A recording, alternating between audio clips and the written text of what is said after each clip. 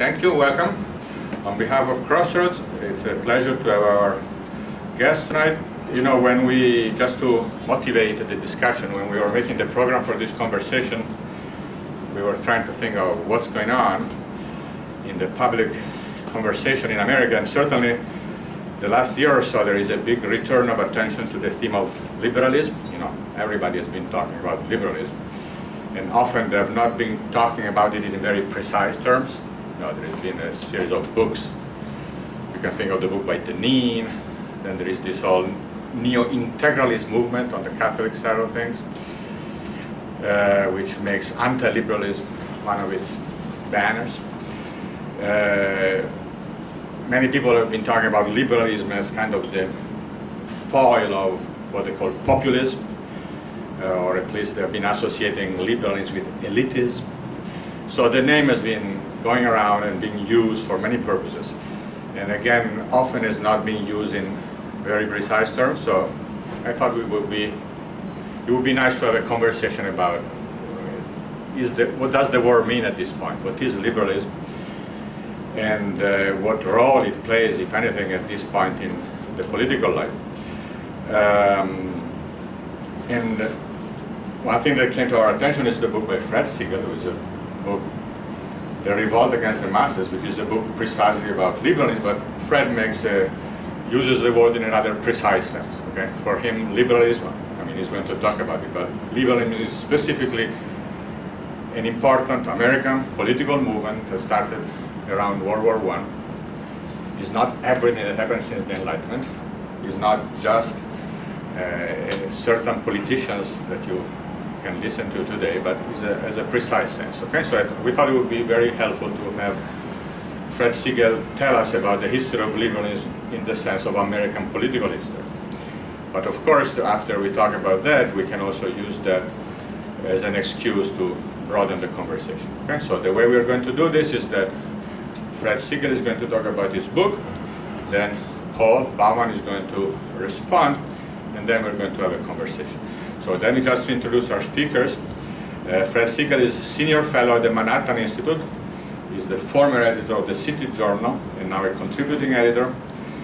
He's an expert on market-friendly public policy solutions for urban governance and he's a professor emeritus of history at Cooper Union, where he taught for many years. And now he's a scholar in residence at St. Francis College. He's the author of the book Revolt Against the Masses, how liberalism has undermined the middle class. He has published frequently in the New Republic, the Atlantic, Wall Street Journal, the New York Times, the Weekly Standard, and Washington Post. Paul Baumann is the editor of Commonweal, although he just told me that he's about to step down after tonight. So this is his last public appearance as the editor of Commonweal. So we are very, we are, we are, we are very honored and pleased to have this occasion. Uh, you know, Commonweal is an, is an independent lay Catholic journal of opinion founded in 1924. He previously worked as a newspaper editorial writer and a reporter, and his writing has, has appeared in many publications, including the New York Times, the Washington Monthly, the Columbia Journalism Review, Slate, and the Wall Street Journal. He was educated at Wesleyan University and Yale Divinity School. Okay, so thank you both, and let's welcome Fred Siegel first.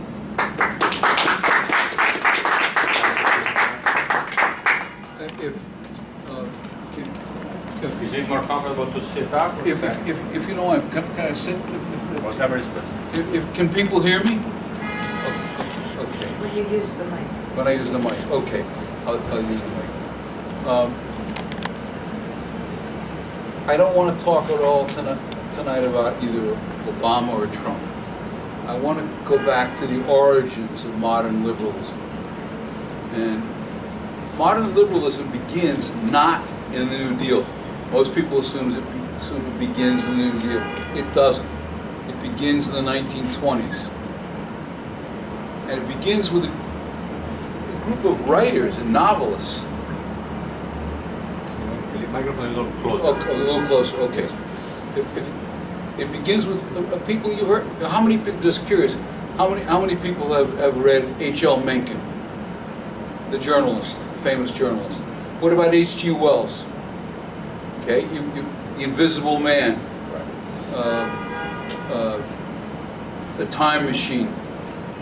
uh, War of the Worlds. Wells was an enormously important influence in Anglo-American intellectual life and is one of the founders of modern liberalism in the 1920s. And the third figure I'll talk about a little bit is Sinclair Lewis. How many people have heard of him? It Can't Happen Here, which gets reissued with a new introduction every 10 years. Paul Krugman writes about it every, every three or four years. Well, actually, he writes about it every, almost every column, but in, in different variations. Um, what happens is that in the wake of World War One, uh, these new writers storm the literary world. They transform the li- literary world. The most important of these writers I haven't mentioned, because I'm not going to talk about him uh, uh, tonight. That's F. Scott Fitzgerald, and you've all you've all read him. But he has the least impact politically. Mencken, not even think, thought of as a liberal. He has the most impact. He has an enormous impact on the generation that comes of age the 1920s and the 1930s. Mencken hates America. Not a metaphor.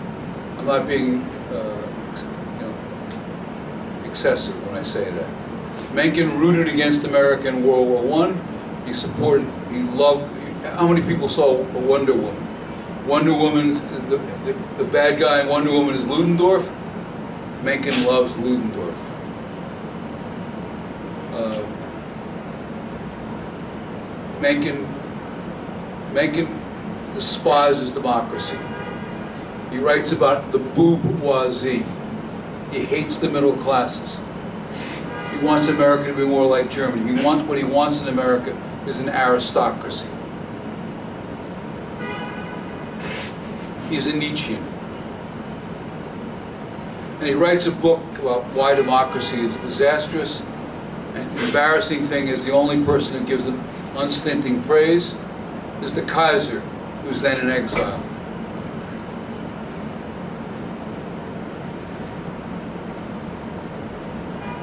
Mencken is an important figure in a, in a movie you may have seen called Inherit the Wind.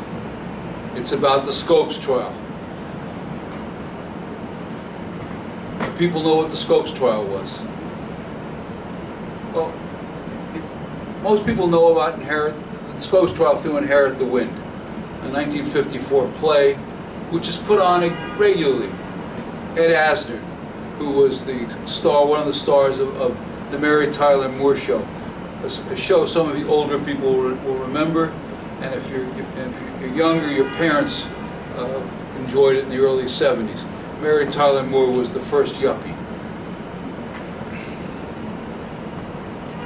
In Inherit the Wind, um, this town fill, filled with yahoos uh, takes this guy, throws him in jail for teaching about evolution,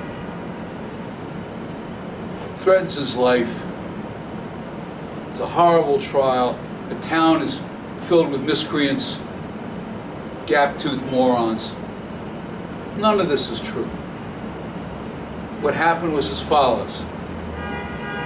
There was, there was a so-called Butler Law in Tennessee. You can't teach evolution. Nobody paid any attention to it. Evolution was taught. The town saw an opportunity to promote itself. The ACLU, which was formed a few years earlier, saw, saw an opportunity to promote itself. And they decided, they decided to have a test a trial. They, they, they put this fellow on trial, nothing much would happen. The town would get a lot of publicity, the ACLU would get a lot of publicity, and everyone would have a good time. But it got out of hand. People from all over the country began, and up until this point, there wasn't an enormous amount of tension between religion and politics. None of what's come in the, in the generation since.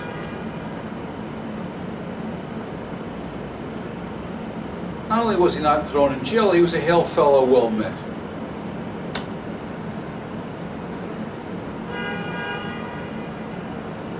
The prosecution was carried out by a fellow named William Jennings Bryan, three times Democratic candidate for President of the United States, a pacifist who had opposed World War I.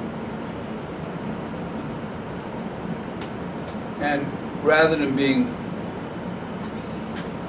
foolish fellow, he was widely read and generally generally widely tolerant.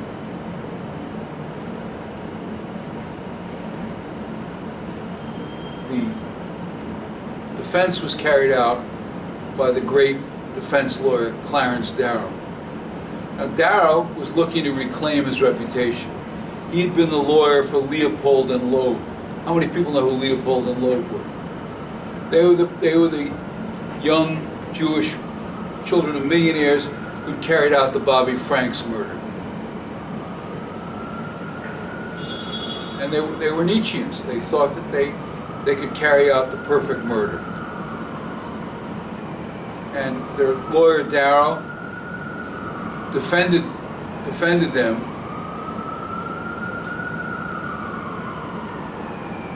on, on grounds that they didn't really understand what they were doing. And he, he invoked Nietzsche to defend them. Well, Bryan jumped on this and said,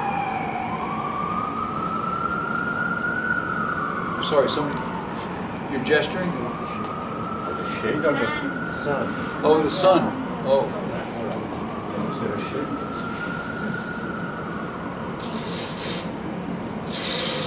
I, I don't want, I don't want, I don't want to go too far in- into the weeds on this. There's a very good book on the Scopes trial by a man named Edward Larson. The important thing here is that modern American liberalism is in- shaped by the Scopes trial, by the idea that Bryan was a fool, that the Scopes trial involved gap-toothed, gap-toothed morons, who were the people who Mencken, in his coverage of the, of the trial, called the bourgeoisie.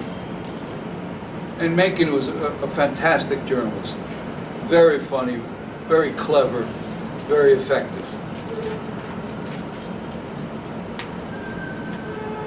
And if you were a college student in the 20s, you wanted to be like Mencken.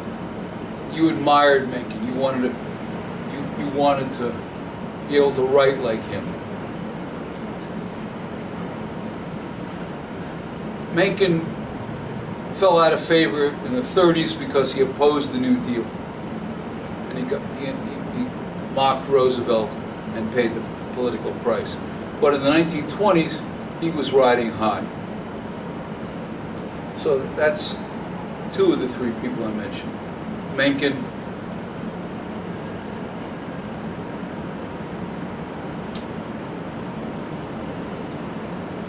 Wells and Lewis. Sinclair Lewis. Sinclair and Lewis. and Sinclair, God, thank you. I didn't, actually, I didn't get to Sinclair Lewis, thanks, Eamon. So, second is Sinclair Lewis, who wrote Main Street. Has any, any of you read any of Sinclair Lewis? It can't, it can't happen here. Main Street, Babbitt. Sinclair Lewis uh, is, is enormously significant. His Main Street uh, is the biggest political novel in America since Uncle Tom's Cabin. It's an event. And it, what, it, what it says is the people who live on Main Street are suffering from the village virus. That's what he calls it. And it's about a woman named Carol Kennicott who is, leads a terribly sad life because her husband is a bore. If that, if that con- constitutes sadness, my wife should be terribly sad. Um, uh, and she needs more more zest in her life. And it's because she lives in a small town. Uh, much like the one that, that Lewis grew up in. Uh, it's, it's a terrible life, it's a terrible fate. And the, the problem with people who lived in these towns is they're content. And if you think I'm joking, I'm not. They're content. They shouldn't be content. They need, they need to be more resentful, angrier, more interesting. These are the themes that will, will be carried on in the post-war years by an historian some of you know by the name of Richard Hofstadter.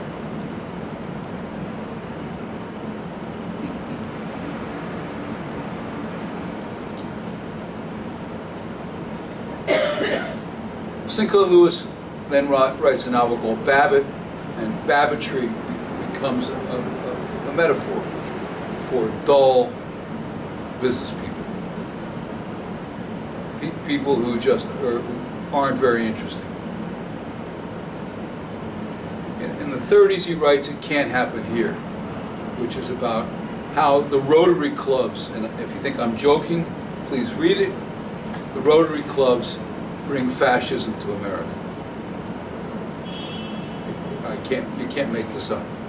And some of it is sarcasm, some of it's satire, most of it's written in utter seriousness.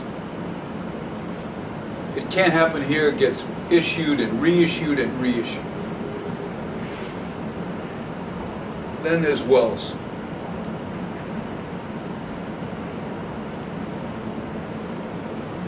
Wells meets with every American president from Theodore Roosevelt to Franklin Roosevelt.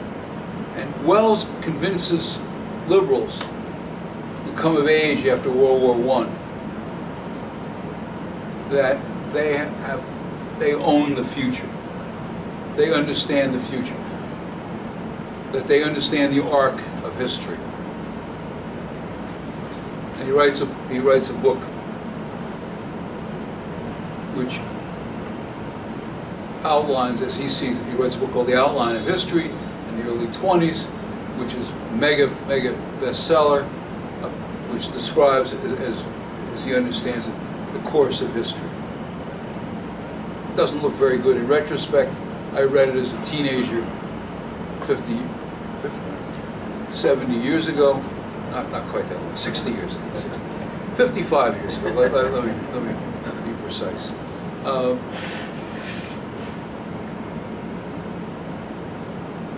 Wells, the most important book Wells wrote was a book called Anticipations. Wells sees, how sees how technology is transforming the world. How the telegraph and the telephone will transform the nature of communications nature of politics. Wells is a big eugenicist, as is Clarence Darrow. Bryan is a great opponent of eugenicist.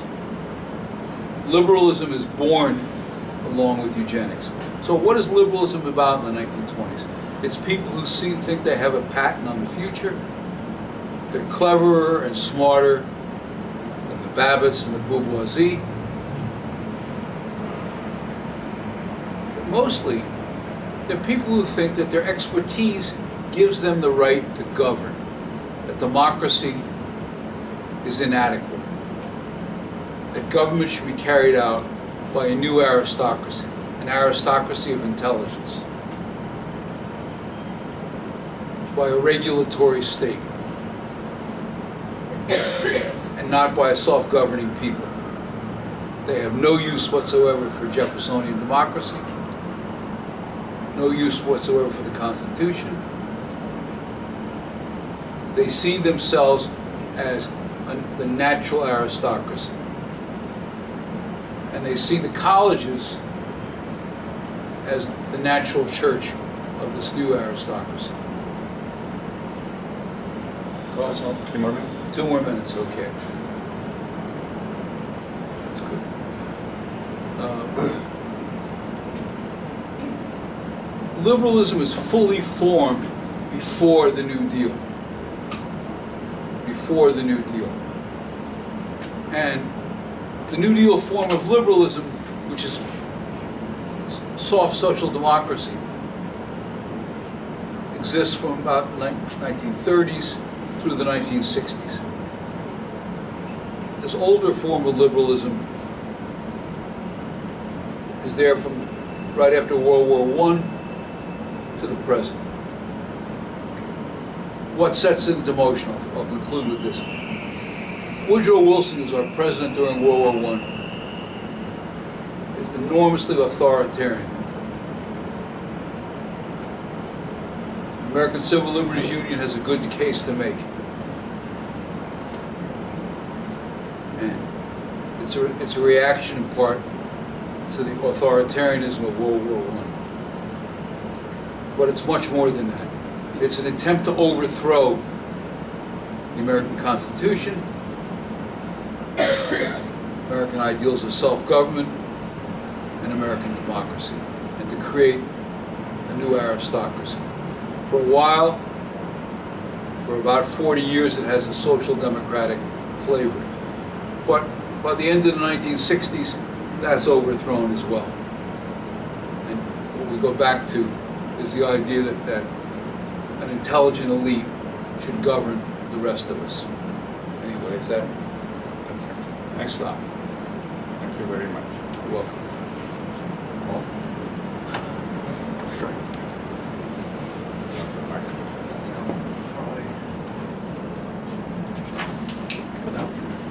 I think I'll try without the microphone, and if you can't hear, just uh, speak up. Uh, And uh, thank you, Fred.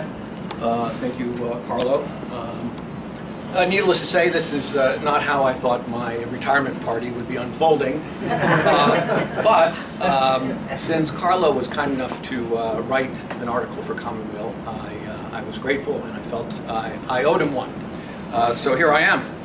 Um, let me begin with a few cautions. Uh, when Carlo asked me to participate in a discussion of Fred's book, I warned him that I'm not a historian or a scholar.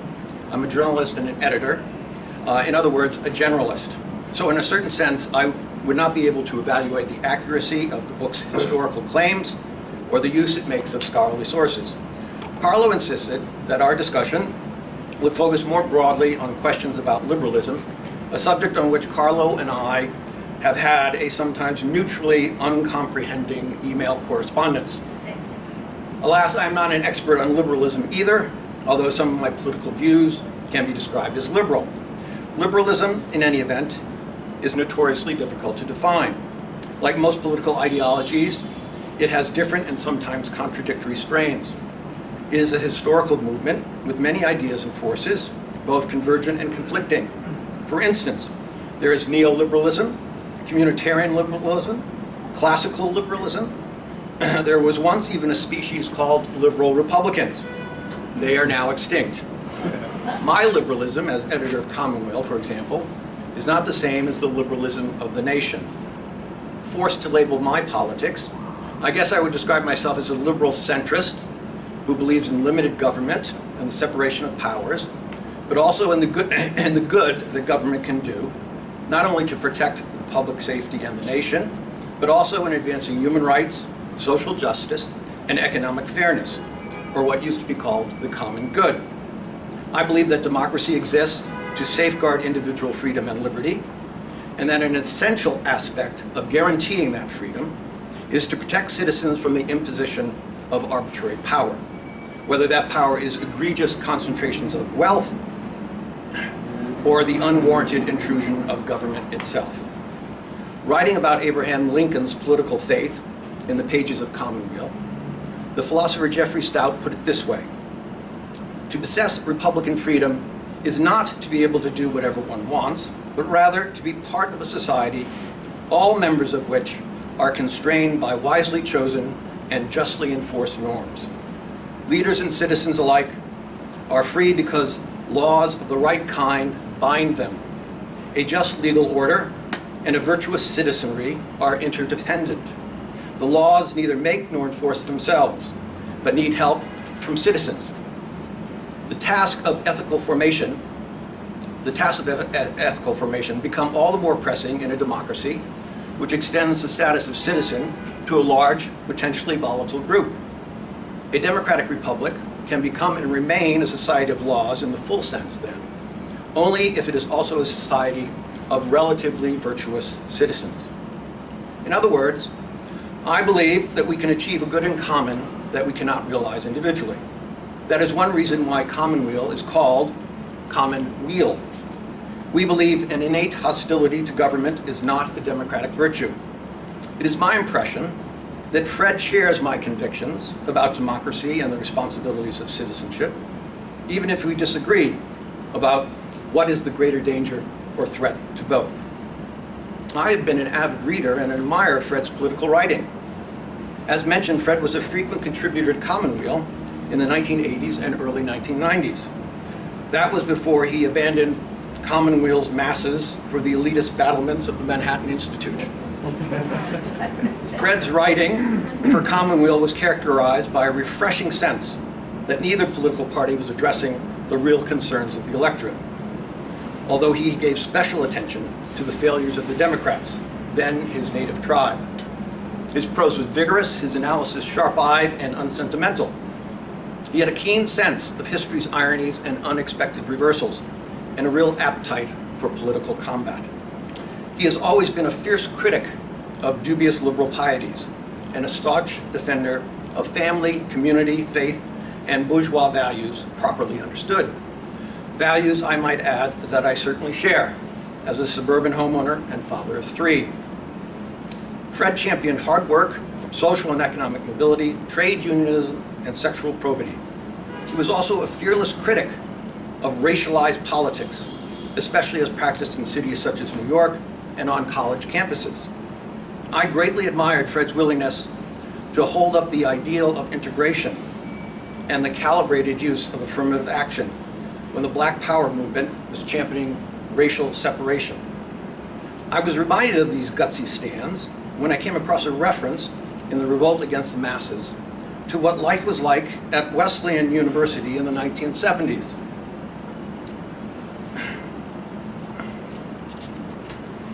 Um, Senator Daniel Moynihan's son John, a student at Wesleyan, captured the mood, Fred writes. He described Wesleyan, which would move into the vanguard of campus multiculturalism, as an overgrown playground where Westchester Marxists drove daddy's car to the protest and conversation focused on feminism and boycotting Nestle. As it happens, I graduated from Wesleyan a few years before John Moynihan. Although it is a cliche and inaccurate to describe wealthy undergraduates at elite colleges as Marxists, most, after all, are on their way to medical or law school, not to the barricades. It is not inaccurate to say that multiculturalism and racial, racial politics were a problem. During my years at Wesleyan, racial, political, and cultural divisions were deep, and the reasoned deliberation that lies at the heart of higher education, and one hopes at the heart of democratic life, often proved impossible. To be sure, it was a time convulsed by the Vietnam War, the draft, a corrupt president who resigned before he was impeached, the black power and women's movements, the pill and the sexual revolution, and the widespread acceptance of drug use on college campuses. It was, in other words, a crazy and perplexing time. In the spring of my freshman year, President Nixon invaded Cambodia. Four students were shot dead while protesting at Kent State and a student strike shut down colleges and universities across the country, including my own. Wesleyan was well known as for its freewheeling, hyper-individualistic undergraduate culture. The university conceived of its educational mission in progressive and explicitly liberal terms. How liberal? Well, it did not come as a surprise to me when, years later, the college became notorious for establishing a clothing optional dorm. I'm not kidding. As Fred and I agree, if choice is regarded as the ultimate and defining liberal value, what people choose cannot be questioned. The university was also known for its commitment to racial equality.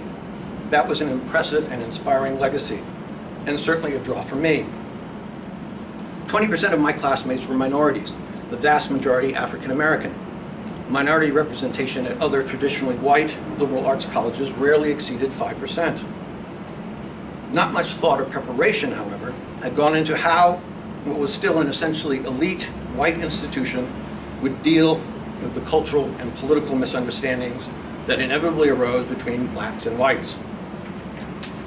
The Black Panthers were a presence on campus, and tensions sometimes ran quite high. There were fights and incidents with guns, knives, and even arson. Racial strife had troubled the campus for years, prompting a cover story in the New York Times Magazine. It was titled, The Two Nations at Wesleyan University. With rare exceptions, the Times reported, white students and black students do not even talk to each other. That was true. Black students felt a strong imperative to separatism. Solomon, the Times reporter concluded, would have been overwhelmed at Wesleyan. And I can report it was often very overwhelming. If a liberal institution committed to doing its part to redress the historical sins of racism could fail so conspicuously, what hope was there for racial progress in less sympathetic settings? I witnessed several violent and very disturbing incidents that shook my faith in the institution and its values. As far as I could tell, no one was held accountable for his behavior.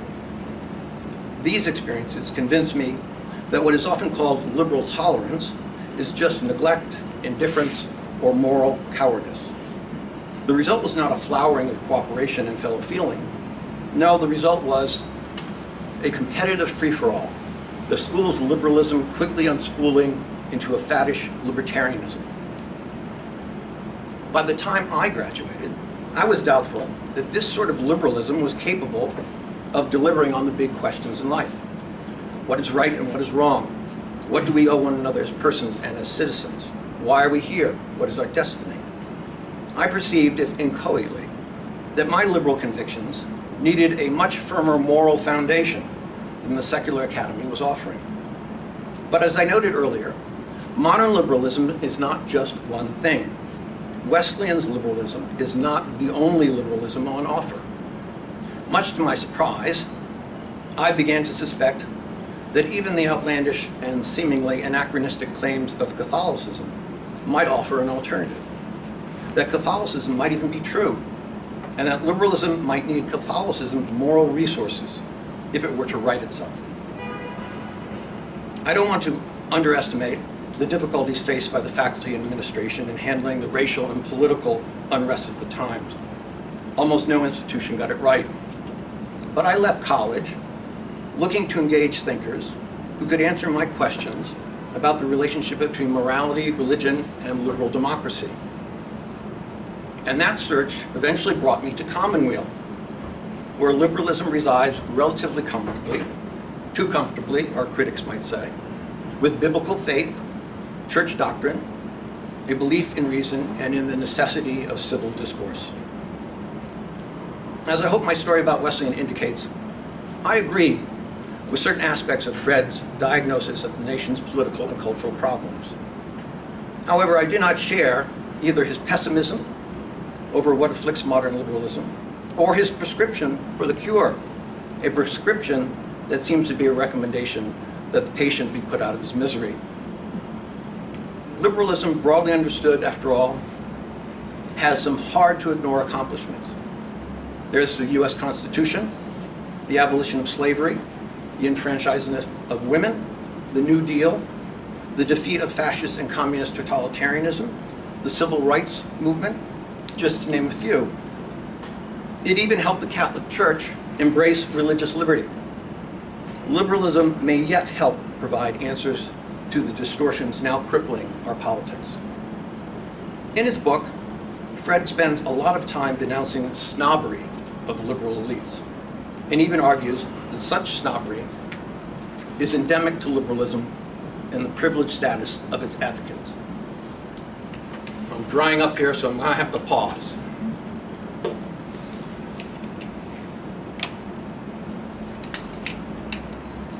Are some self-identified liberals intellectual and cultural snobs? Of course. It is my experience, however, that snobbery and elitism exist across the ideological spectrum. Moreover, many of the intellectuals Fred builds his argument around, people like Randolph Bourne, H.L. Mencken, H.G. Wells, Dwight MacDonald, Edmund Wilson, Susan Sontag, would hardly describe themselves as liberals. MacDonald and Bourne were radicals. Wilson at one time an apologist for Stalinism. Most of them exhibited a good deal of contempt for so-called liberals. In his search for a more humane alternative to the industrial age, Bourne, I believe, was even drawn to a certain kind of medieval Catholic corporatism. Odder, it seems to me, is that when Fred wants to emphasize the radical and subversive nature of so-called liberalism, he enlists as allies figures such as Edmund Muskie, Hubert Humphrey, and Arthur Schlesinger Jr., all of whom consider themselves mainstream, mainstream liberals in good standing. And all of whom wanted to guide liberalism towards what Schlesinger famously called the vital center. A center, I might add, vehemently condemned by leftists. As Fred acknowledges, Schlesinger's liberalism was empirical, pragmatic, and incremental. I would argue that the liberalism of the past hundred years has more often been empirical, pragmatic, and incremental than Fred allows. Do liberals need to combat the ideological extremism of some of their allies? Certainly. Does modern liberalism cast a more critical eye on capitalism and on what Fred describes as traditional middle class values, as well as on America's proud celebration of individualism than conservatives do? Yes, it does. Is mainstream liberalism out to overthrow capitalism and destroy the family, as Fred insists? Again, I think such ambitions belong to a noisy fringe, elements of which unfortunately dominate facets of popular culture. When it comes to capitalism and traditional values, I think it is more accurate to describe liberals as a loyal opposition, with the emphasis on loyal. Has modern liberalism focused too much on individual rights and personal autonomy, neglecting the duties and responsibilities that come with citizenship? Has it downplayed the essential role stable families play in forming virtuous citizens, the, forming the virtuous citizens democracy depends on? Yes, I think those are fair criticisms. But those are sins also evident on the right, where economic libertarianism increasingly holds sway. Am I concerned with the direction modern liberalism sometimes takes? Yes. I would argue, however, that a better outcome may rest on critiques and wisdom that come from more sympathetic friends of liberalism. We live in a constantly changing, deeply materialistic consumer culture. Most people spend most of their time working and much of their free time anxious about economic security.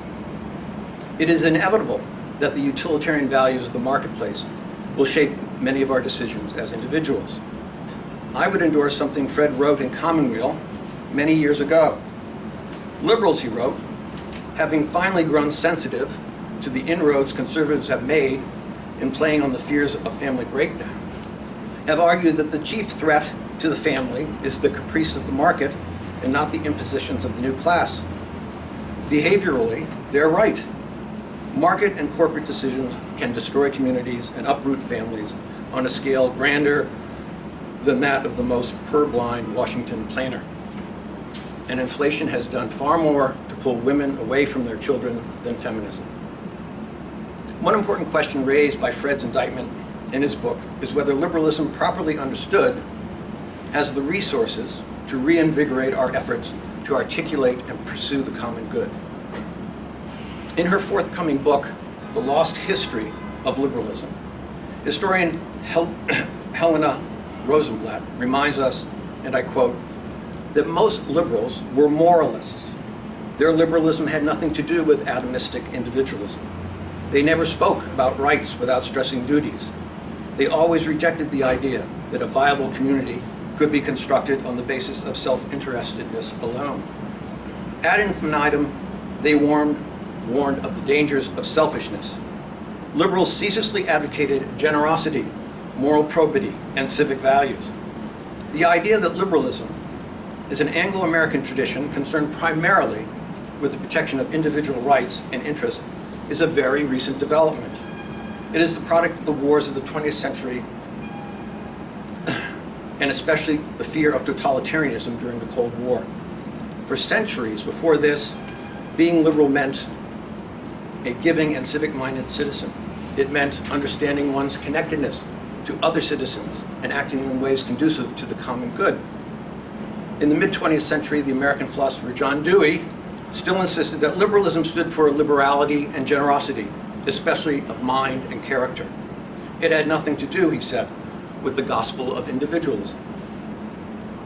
Which brings me finally to a question I would be interested in hearing Fred respond to. In The Revolt of the Masses, you condemn and dismiss writers such as Sinclair Lewis, who ridiculed middle-class lives and ambitions, who ridiculed the middle-class lives and ambitions of most Americans. It is this assault by the so-called elites on the capitalist aspirations of the middle class that you find particularly obnoxious and anti-democratic. I have considerable sympathy for this point of view. I come from several generations of middle-class strivers, and I think of myself as the lucky beneficiary of the material progress brought about by the modern economy. I'm a believer in America's claim to have lifted millions of immigrants and others out of poverty. But, as a Catholic, there are complications. My faith tells me that a life of getting and spending, or of accumulating an ungodly amount of money, can be a snare and an illusion. Such a tight focus on family and career may also be an obstacle to the formation of virtuous citizens. My faith also warns me about the dangers of self-seeking and, and, a constricted individualism. There are many passages in Scripture that take a rather dim view of the wealthy, and even a few that might be called anti-family. Scripture rather emphatically tells me that I will be judged by how I treat the poor. That, I would argue, is also a tenet of liberalism at its best, and certainly a core belief at Commonweal. To be sure, not all of us are called to give up all our worldly possessions, or at least that is what my church tells me. But we are called to take responsibility for the whole, for the general welfare, and not just for ourselves and our immediate family. Fred's celebration of middle-class ambition and American individualism feeds into an interesting argument about U.S. Catholicism. There are those on both the Catholic left and right who think that to the extent the Catholics have uncritically embraced the values of our consumer culture, they have necessarily abandoned their faith. You cannot, as the saying goes, serve two masters. Now, as an empirical, pragmatic, and incremental liberal, and as a Catholic, I am naturally of two minds about this. Do I think the economic success of Catholics in America is something to lament? No, I do not. I am personally grateful for it. Do I think that the American worship money and success is a kind of idolatry? I certainly do. So in the end, I think it is a good thing that my church insists on questioning the American values Fred is so keen to vindicate. I want to be chastened when I am tempted, as I usually am, to ignore the poor or to lionize society's winners. I don't think such moralizing from my church or even from liberals undermines, middle, undermines the middle class. I think it strengthens those values of duty, responsibility, and loyalty that middle class life and democracy depend on. I'm all for defending traditional middle class aspirations, but our moral aspirations must not end there. I think you can challenge America at the same time that you celebrate it. Thank you.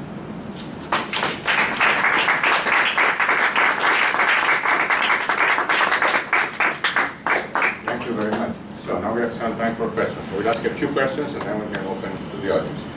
Uh, you had a question. What was your question again? uh, let me just uh, uh, briefly respond to Paul. Um, Paul, if there were more liberals like you, I'd be more positive toward liberalism. however, I'm reproducing as fast as I can. Uh, however, um, you're a dwindling minority your sort of liberalism has been dying off and, and dying off fairly rapidly in the last 25 years. Um, there's a question of, of, of, deal with the, just one question. I, there's too many elements to, to, to go into. I, I we, we, we've, we've spent 50 years with, in po with poverty programs, putting money into the inner city. 50 years of failure. We haven't been willing to look at things empirically. We haven't been, we haven't been, to, been willing to look at things in any, any kind of practical way. Um, Worse than that, the rise of public sector unions transformed the nature of American politics. Public, private unions were, were connected to the overall well-being of the society. If, if, if- if the steel company, if the country did well, the steel company did well. And this was traditional Hamiltonianism. But globalization destroyed that. And both people on either the left and the right understood that in the 2016 election. I didn't want to talk about that, but now I'll talk about it for a second. Nobody in this past election, other than Donald J. Trump, who I did not work for, did not vote for rather, because he stole a quarter of a million dollars from a friend of mine, got it. The traditional Hamiltonian notion that business, the well-being of business and the well, well-being of America were closely connected. That, that, that had been broken by globalization. But what, ha- what happened to liberalism was, liberalism had disappeared. What replaced it was a very extreme version of what people began to call progressivism. This is what Hillary Clinton called it. And what progressivism was, was race, class, and gender to the extreme. This is what pushed me away from the kind of centrist liberalism that you represented and, and which is enormously decent and appealing. Let me finish, let's just finish with this point. That this kind of progressivism has no future. Its response to Trump's victory has to simply been double down. I spend the winters in California, just a matter of temperature. The people I talk to in California, especially in Hollywood, where my sister is a screenwriter, are positively insane. They've learned absolutely nothing. They think if you're Robert De Niro and you curse, you, you, and you curse uh, Trump, and by the way, De Niro's cursing Trump and people applauding for five minutes is already being made into an ad for, for Trump. They think that that's, that's a good thing.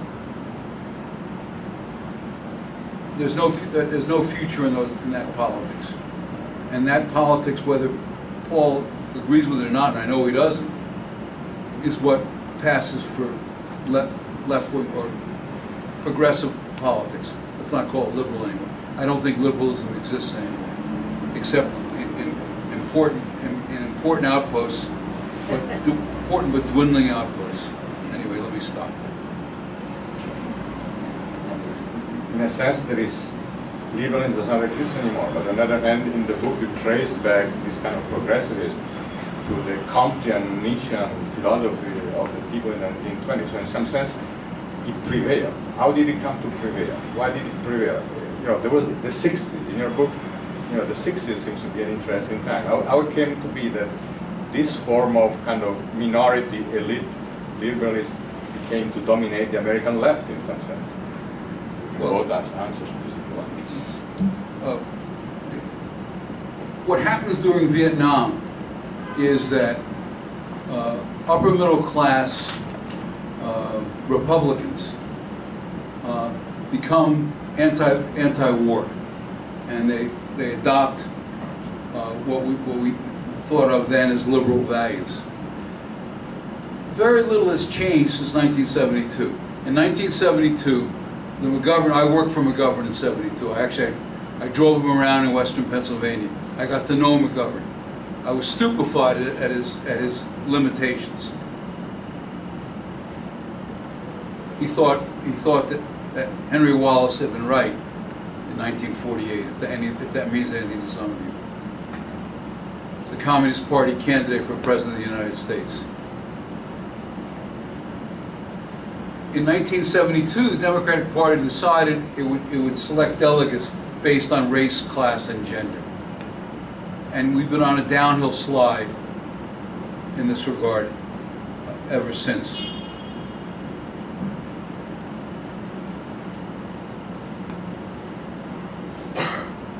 The other thing that happened in the 1960s was there, there was this loss, loss of, reason lost its appeal. We, we were, we were going to transcend reason with drugs. I didn't do it, I was too dull. Um, But people, people were going to, were going to get past all this. You didn't have to reason, reason with other people. You would, if you were, if, I, I, some of you must have read Tom Wolfe, Electric Kool-Aid Acid Test. If you haven't, it's worth a, it's worth a read, except the last 40 pages, which make no sense. But read it. It's worth it's worth reading. It's about Ken Kesey, the magic. What was the what was the bus called? Magic Yellow. Magic, I- Magic Yellow Bus. It, it, it's it's a it's a it's a it's, you, it's a very good introduction to, the '60s and drugs. And people uh, uh, people lost it, and in some sense, uh, n- never it never returned to it. The combination of drugs in Vietnam and elitism uh, was was a, was a terrible cocktail, which we've never fully absorbed. So I, that's a very quick an- answer. Uh, Just, uh, just a couple of things. Um, uh, I, I don't think, uh, I certainly agree that uh, globalism has, has done a job on, on, on the labor movement, but I don't think you can discount the fact that corporate America has had a 45-year uh, attack on private sector labor unions, and they've succeeded uh, with the, with the most recent Supreme Court ruling uh, about right-to-work laws. It's a, it's a, it's a done deal. It, it hasn't happened yet. No, it hasn't happened, but it will. Um, You talking about the Janus? Yes, you can. Um, Secondly, uh, Mark Lilla, um, uh, who's a philosopher at Columbia now, uh, wrote a very interesting article uh, back in the late 1990s called A Tale of Two Reactions. Uh, And he was responding both to the cultural revolution of the 1960s and then to the Reagan revolution of the 1980s. Uh, And, uh, and his thesis was that these were two sides of the same fundamental American individualistic ethos. One carried out culturally and morally, the other carried out economically. And he, his, his, his thesis was, that is where we are. We've, we've been stuck there for a long time until someone has come up with an answer for it uh, that can put back uh, a greater sense of the common good. We're struggling with this, and I would, I would assume that part of that struggle um, uh, has resulted in, in the election of, uh, of Mr. Trump. And, uh, and I certainly agree that you shouldn't go around uh, cursing Trump in public, maybe in private. You know, but let me just be insistent, you know, uh, when, when Fred describes liberalism as this essentially secular, elitist, technocratic political movement, how did it come to, in a sense, take over the American left to some extent? I mean, of course, one can talk about the Reagan and libertarianism, but it's true that the Democratic Party seems to be dominated by this kind of ideology. Is it not, in some sense? How did that happen? I don't know. Is it- You want to I- say something I to think? I think it's a much more mixed than that. I mean, uh, there are, you know, there are plenty of religious people who uh, uh, are still sympathetic to, uh, to the Democrats. Uh, They nominated for president a very preachy Methodist last time around. It's, it's not, that's where she was coming from. I think when it comes to the question of secularism, you- there, there are different kinds of secularism. There's, there's a secularism that is opposed to religion, wants to exclude religion from the public square. And then there's a secularism that wants to insist on, on, on a certain sense of neutrality among religions in the public square. I think both are, are still alive. I, I wouldn't disagree that uh, when it comes to the Democratic Party, it, it tends to lean in a direction that I oppose. Uh, But uh, you, you never get everything, you never get everything you want from, from, obviously, from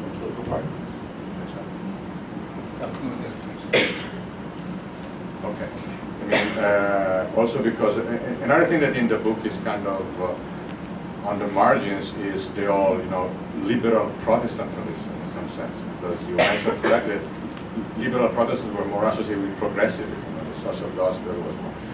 Uh, at the same time, I would say that well into the 50s and 60s, uh, the, the liberal, American liberal Protestantism was a major social force, you know, Yes. the mainstream. How was it possible that on that bra- background, kind of, again, the liberals took over in some sense? I mean, you know what I mean? Uh, What, what happened to that old tradition? Why did it, was it completely unable to, in a sense, resist what you described? Uh, One of the few good things I can say about Obama is that he liked to quote Reinhold Niebuhr. And uh, Niebuhr was the last major important Protestant theologian. Um, American Protestantism uh, has not fared well in the last, uh, last 50 years. Um, uh, Its, its pews have been emptying out, and, and it's been replaced by, by an, an evangelicalism which is not, not always to my liking. Uh, uh, That said, uh,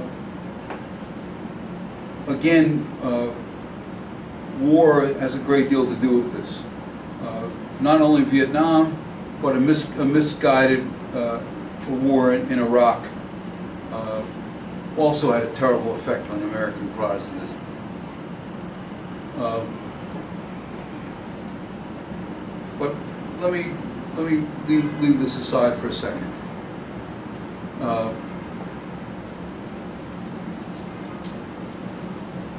As a practicing Jew, who's, who's anchored, uh, who's anchored in, in, in, in the Hebrew calendar, I have a strong sense that without, uh, without a connection to faith, we have a hard time living a meaningful life. But the millennials, uh, which my wife will now cringe as I, as I repeat what I've said to her so many times, the dumbest generation in the history of the cosmos. Most fantastically, um, they're, they're, they're beyond all understanding. Uh, they're- They're not connected to family, they're not connected to faith, they're not connected to their country. We have terrible problems ahead of us. As for the Methodists who ran for president, uh, I, I, I worked with, I worked for the DLC, the Democratic Leadership Council, in the 1990s. I spent time face to face with Hillary. That she was a Methodist is someone, something I never guessed until it was useful for her to, men, to mention. When she ran for the Senate, she brought Jan and I in to, to, to help her, to help guide her regard to New York State. Again, I never had the slightest, slightest sense, sense of these things. She's a Methodist when it's, when it's useful to her to pretend she's a Methodist. I don't think it has much to do, much, much, much to do with it. As for Donald, Donald Trump, and, and, you know, we, we don't, we don't, we don't even want to go there. Okay, thank you. I could ask a few more questions, but if there is uh, somebody from the audience who wants to start, yeah, want to speak up? or Yeah, um, yeah, I wonder if I could ask a, a question of each speaker. Um, uh, First, I- I'd ask uh, Professor Siegel, I, I read your book, um, and I liked it very much, very interesting. Um, It reminded me of two other books I had read. One in college, um, uh, The New Radicalism in America, uh, Kit Lasch. and so- and, his- and Lasch's last book, The Revolt Against the Elites. The difference, though, with Lasch, Lasch um, was always very skeptical. Well, he shared your your um, dismay at the elitist tendencies of liberalism. He was also very skeptical of unchecked markets and the power of corporate capital, capitalism, luxury, accumulation of wealth. And uh, I'm just wondering, uh, and, and toward the end of his life, he was interested in populism. He was interested in Henry George. I'm kind of wondering where you stand economically. Do you see yourself in, in some dialogue with Lasch, and where you uh, see your, yourself economically in relation to that? Um, and then I just for uh, uh, uh, Mr. Baumann, um, your your criticism of, of Professor Siegel was that his description of liberalism really only described a fringe minority. So if we would accept uh, the New York Times as a mainstream liberal institution and paper, what are your thoughts about where the New York Times is, is headed and, and what that tells us about contemporary Amer- American liberalism? Those are my two questions, one for Professor Siegel and one for Mr. Malcolm. Just quickly, I think, I think that's acute. Uh, I, I, I knew uh, Kit Lasch, I was friends with Kit Lasch. Uh, uh, He died, he- died, however, uh, 25, year- more than 25 years ago, unfortunately. I, I, I, I, wonder what he would think now. And the last book where he wrote, he wrote uh, True and Only Heaven, was scattershot. It was, it, it, it, was, it, was, it was- problematic. Um, uh, as for myself, uh, I try to convince the people in the Bernie Sanders campaign to talk about the monopolies in Silicon Valley. I would very much like to see Justice Department, if, if they weren't so fantastically corrupt, uh, deal deal with, with, with, with monopolies in Silicon Valley. They were they're much more powerful than Wall Street at this point. And I try to convince I try to convince Sanders, who's not the brightest bulb, uh, to, to, to, when every time he attacked Wall Street, one out of every three times mentions Silicon Valley because they're more powerful, they're more. Uh, and I, I talked to people high up in his campaign, and I had no I had no effect whatsoever. Uh, no effect whatsoever. So my personal viewpoint, I, I, I want to see I don't want to see Silicon Valley dominate American politics. And They have so much money now. They're buying up so many companies. They're so consequential. As, as far as I'm concerned, they're a major threat. Um, I'm, I'm sorry. I, and I, I just I wonder if, if Lasch was alive, what he what he what he would think about that. Uh, Lasch actually wrote for Commonweal uh, quite often, and uh, several of the essays in that book referred to were first appeared in Commonweal. Um, uh, as far as the New York Times goes, uh, there are different parts to the New York Times. Uh, I, I don't, um, I find much of the, is often referred to as the correctness of the New York Times to be exasperating and misleading. Uh, I tend to agree with its support of Keynesian economics, uh, with its uh, um, warnings about uh, uh, Trump's foreign policy and stuff like that. I, I'm an avid reader of uh, for Ross Douthat. I think he's a very interesting columnist. I'm not much of a fan of, of Maureen Dowd, uh, so that's my take on it. Go ahead. Um, I think if you gather together a hundred liberals in the room, um, and you ask them, what are the great triumphs of liberalism in the last century? A great many of them would say Roe versus Wade. So what's your view of that, Paul? What's my view of Roe v. versus Wade? Well, as, as a liberal accomplishment, and, and as an, a, an exemplar of the liberal attitude. Um, Commonweal objected to the Roe decision when it came out. We've all along objected to the Democratic Party's pro-choice uh, positions. Uh, uh, we think that it's a, it's been a fatal it's been a fatal mistake for the Democrats uh, to uh, to make that a uh, uh, litmus test uh, for for, uh, for the party and for the coalitions that they, they need to put together. Um, so uh, you know when I when I think uh, of liberalism's accomplishments past 50 years, uh, I inevitably think of, you know, civil rights, um, Martin Luther King. Uh, you know, that seems to be certainly been one of the high watermarks when it comes to liberals' accomplishments. It was, a, it, it was something I studied in college, and it was, it was just astonishing, you know, his, his bravery, what he was faced with, uh, and how uh, he continued to push uh, uh, for integration, integrationist model. I thought, uh, I think that was certainly the highlight. Why would you call, you would call Martin Luther King a liberal? Yes. What do you think about that? I, I would agree. I just want to describe uh, uh, something that actually happened. Uh, Jan and I were there. Uh, there was the 50th anniversary of uh, the magazine Telos. I don't know how many people are aware, aware of Telos. It's the only German language publication written in English. It's a highbrow magazine, and uh, there was just they just had a 50th anniversary issue, uh, and the one before that was on Martin Luther King and and natural law. And at the 50th anniversary party, uh, where I'm pleased to say my youngest son Jake was the speaker, gave a talk on Ernst Junger, uh, his, service in Iraq, and and Telos.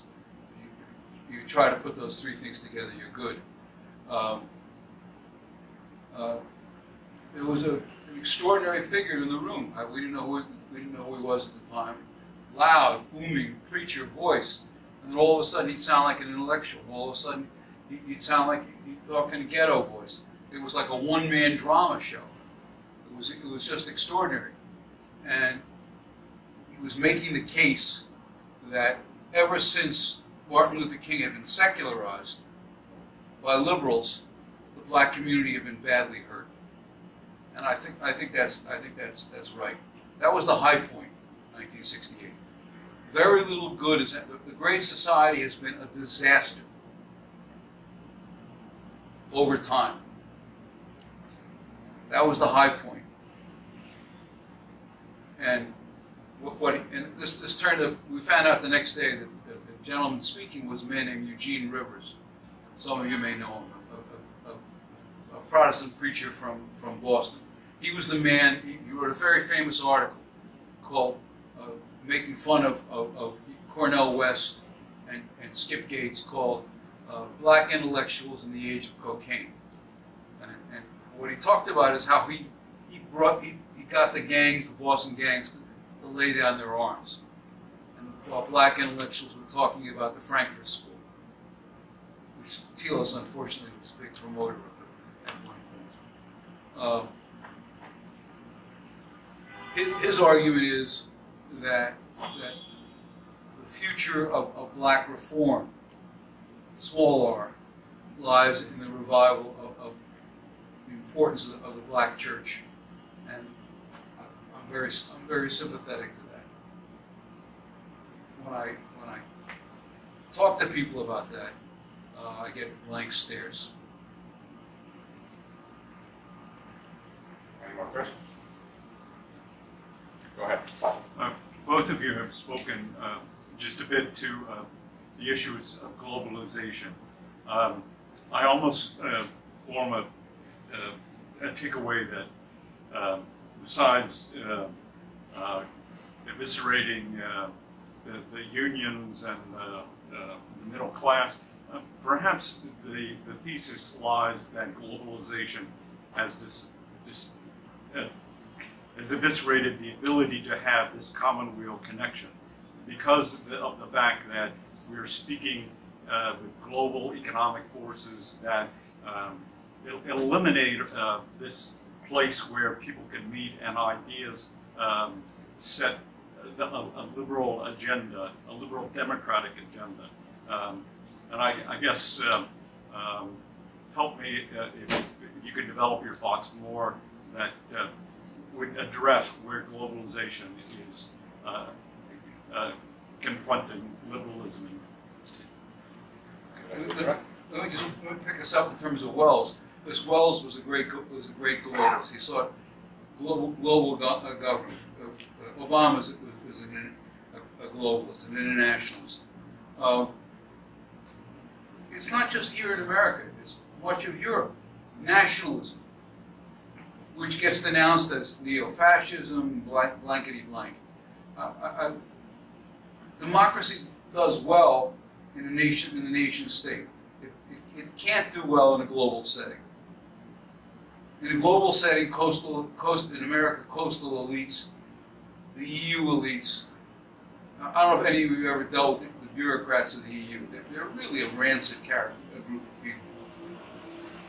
Uh, and they, they have no interest in, in dealing with the well-being of, of their populations.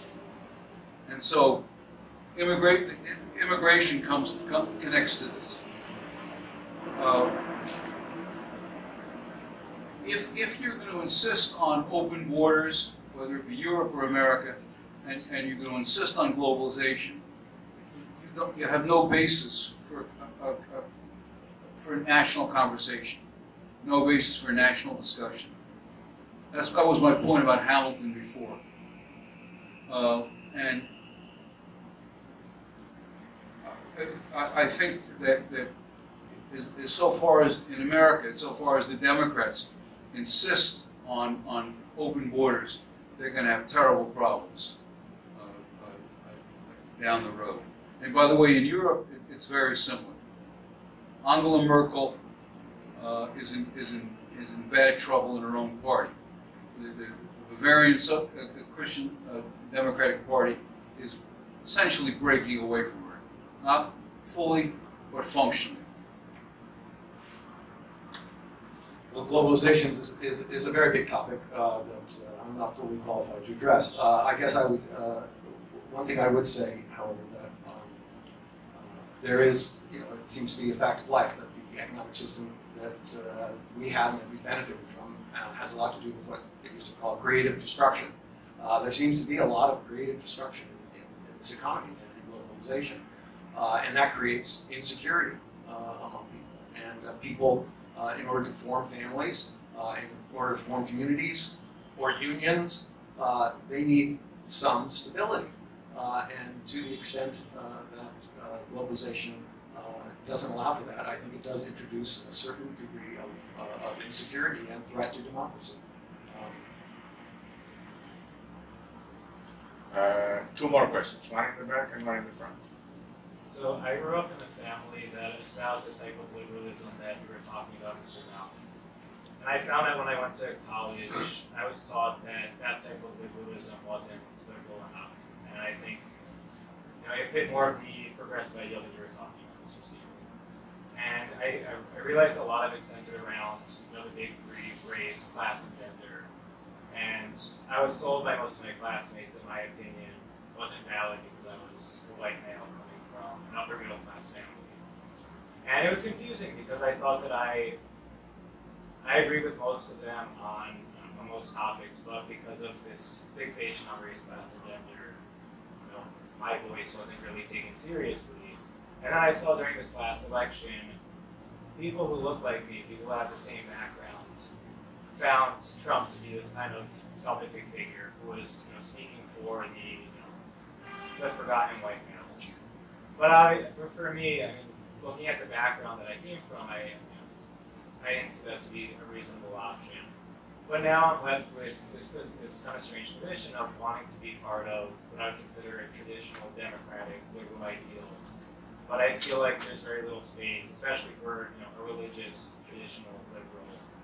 Um, I, I contemplated looking at some of the third parties. I've also thought about just forgetting about politics um, but it, it's a real question for me and a lot of friends of mine. You know, is it worth trying to stay involved in the Democratic Party? Worth trying to be involved in the third party just forget it? Um, I wonder if you can comment on that. That's a good question.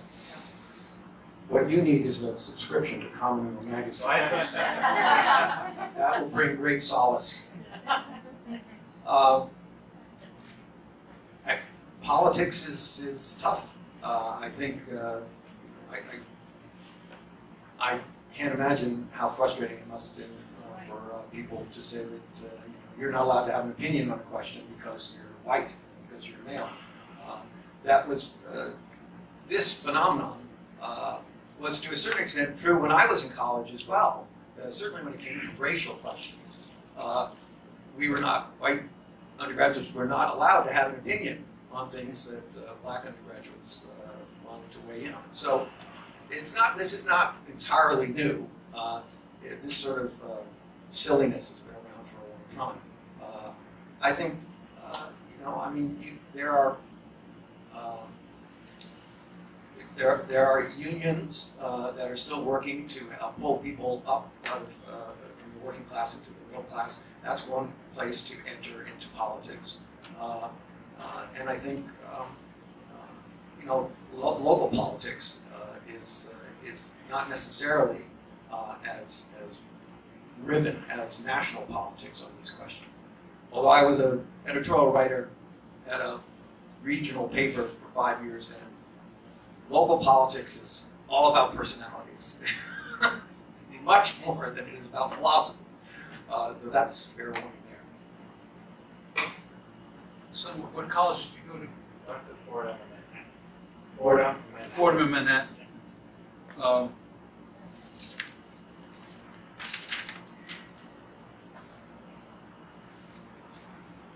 Hey, uh, it's a mess. I, I think we're living through the long '60s. I think the, the, the, the fractures that occurred in the '60s were never healed. They, they, they widened, uh, they putrefied, and, and, and we're still living with them. We don't, and we're, we're far from, from dealing with them. And um, I'm not optimistic about the unions because the unions have become increasingly public sector. And the public sector unions get their cut no matter whether the economy does well or not. And, uh, you know, I, I don't know what I think about this Janus case. This, this is the case com- coming up with, with, uh, uh, with uh, It's a right to work case. excuse me, right to work, thank you, the right to work case. I- I'm, I'm, I'm, I'm probably, I'm, I'm just ambivalent Um, the, but, but globalization is, is not something that's just felt here. It, some, it hasn't been covered by, by the geniuses of the New York Times. Let me, let me, let me stop. My wife will shoot me. It hasn't been covered by the quote unquote journalists of the New York Times. But there's a guy named Doug Ford, uh, so-called Trump of the North, who's just just been elected to the premiership of the largest province in Canada, Ontario, and he's a nationalist. He sounds very much like Trump without the nastiness. In other words, this is not Trump is not peculiar. That's debatable. I, I have to go home. Uh, Trump, Trump is not is not unique. Trump's policies. Let me let me rephrase this so I go home. Trump's policies are not unique. Uh, there's a lot criti- criticized in the, in, in the Law and Justice Party in Poland. A lot. They're a nasty piece of work in many ways. But in other ways, they're, they're, they're, they're, they un- they understand certain things they get certain things right. The same with, with Orban's nationalists in, in Hungary. Uh, the, the same with, with, with, with, with, the Czechs and the so-called Visegrad uh, uh, group. Uh, the, the, uh, in, here, it, it's, it's the coastal elites uh, doing well of globalization. And you know, you, we talk about creative destruction, but creative destruction didn't create uh, uh, jobs in America. It just destroyed. And and the, the, the people at uh, Apple uh, transferred all the jobs overseas, and they got they got adulatory coverage in the pages pages of the New York Times. Uh, so I'm not I'm not I'm not optimistic about about uh, uh, what comes forward. Uh, if I read the Los Angeles Times, it's the same. It's the same kind of thing. I want to see. I want to see people begin to talk intelligently about the power of monopoly. Google is a monopoly. 300 people from Google worked in the Obama White House. They were joined at the hip. Neither of them, well, Google came out came out very well. Obama White House not nearly so well. I want I want to see I want to see something done to control these characters because you can't have any creativity if the companies are so wealthy they can buy up their competitors almost immediately. Anyway, let me stop this. I'm going to get in the soapbox in a minute. Okay, uh, very good. So uh, I don't know when just to conclude, when Fred was talking about the long 1960s, I was thinking of the author I translated, I translated this Italian philosopher from the 60s, because when I read him, it looked like nothing changed. It looked like our culture, in some sense, fell into a rut in the 1960s, and then some things stuck. And the one that struck me the most about reading this guy was this uh, idea that what calls itself liberalism is basically what we call it aristocracy of intelligence, technocracy. Yes. Which, which is based on ultimately on a deep faith that we can create our own reality. But even before being individualistic, there's this deep faith in our ability to create our own world, you know, create our own reality, create our own moral values. I was struck because when we talk about Nietzsche as one of the authors of liberalism, because now don't kill me, but the one thing I, since I've been in America, I've been reminded once of Nietzsche, and it was during Obama's first inaugural address, which can sound very weird, but there was this sense of an optimistic faith that we can create our own, Own values, values. create our own values. Now, in light of this, so so so what, what my, my my sense is that we are not facing, you know, the 500 trajectory of the Enlightenment, Hobbes and Locke. We are facing a precisely 20th century scientific, technocratic hubris in some sense. Now, my question is, my final question is, how strong is it? Is it really as strong as it seems to be? Because, you know, there are people like Rod Dreher, for instance, who have this sense that this ideology is going to steamroll all of us in some sense. You know, that it is triumphant and ultimately uh, unstoppable. You know that. What do you see coming down the pike in the next few years? And that, that's my last question. You go first. Uh, I'm afraid I, I uh, largely agree with him. I, I, I, uh, because there's a cl- the class dimension of this is the upper middle class uh, is doing very well.